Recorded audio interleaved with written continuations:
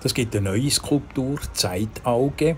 Sie wird vier Meter hoch und das ist eine Realisierung von einer Skizze vom letzten Jahr.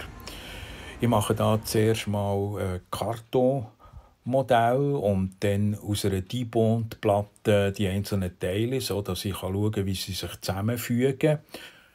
Das sind jetzt die einzelnen Kartonelemente, wie ich sie brauche. Und die sind hier auf der Plasma-Schneidmaschine und das wird jetzt übertragen und wir werden aus dem Edelstahlblech fein säuberlich eins zu eins ausgeschnitten, so dass ich zuletzt die einzelnen Elemente habe, die ich dann zusammen verschweissen kann, wo es schlussendlich die Skulptur daraus gibt.